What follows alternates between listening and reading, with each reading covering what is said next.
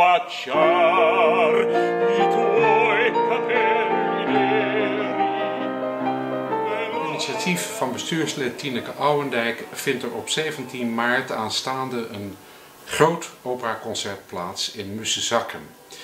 De medewerkenden zijn het Gelders Opera en Operettegezelschap, het Gelders Orkest en een aantal zeer internationaal befaamde solisten. Tineke Ouwendijk werd een aantal jaren geleden geconfronteerd met borstkanker en doorliep het hele behandel- en genezingsproces hiervan met alle ups en downs die ertoe hebben geleid dat zij eh, iets terug wil doen. Terug voor de behandelende artsen en instellingen. Ik nodig u graag uit om dit geweldige initiatief te ondersteunen. U kunt uw betrokkenheid tonen door het kopen van een entreekaart met of zonder buffet of uh, dinerarrangement of natuurlijk ook als sponsor.